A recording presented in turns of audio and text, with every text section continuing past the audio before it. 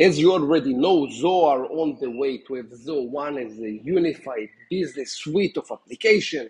That's awesome. And now there is a change that is coming. Uh, for most of you, this change is not really relevant, but for some of you, it will be critical. So please pay attention. Zoho are going to retire Zoho Docs. So if you have any kind of a Zoho Doc, Zoho will automatically migrate your Zoho Docs to Zoho Work Drive. For the people that have some kind, kind of an integration between Zoho Docs to something else, let's say Zoho Docs to Zoho CRM, you will need to redo the integration. And you will need to do it yourself or using a developer. As an example, we have lots of clients that they will have some kind of uh, uh, a Zoho sheet.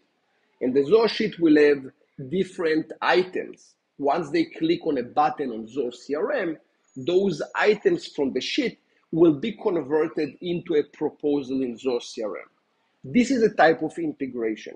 If you have any type of integration between the two, you will need to redo it. The last day to do it will be February 15, 2023. After the date, there will be no more access to Zoho Docs. So you cannot postpone it. You need to take action now. In the description below, there is a link to this move from Zoho Docs to Zoho Work Drive, and you can see everything that Zoho is going to do for you and the things that are not going to do.